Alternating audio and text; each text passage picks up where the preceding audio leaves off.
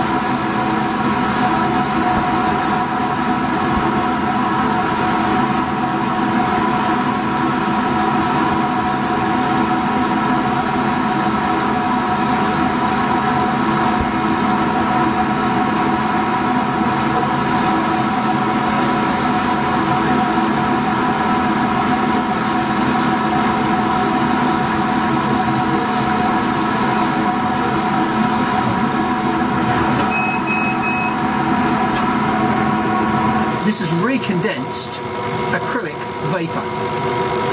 And what you've been watching underneath there is burning acrylic vapour which builds up in the honeycomb cells and the excess energy from cutting is igniting those fumes that are trapped in the honeycomb cells. Exactly the same sort of inflammable fumes happens when you cut wood but you won't have noticed it with wood because you can't see what's happening underneath the wood whereas I can watch it. You can see orange glow explosions taking place through this clear acrylic but you can't see that through plywood.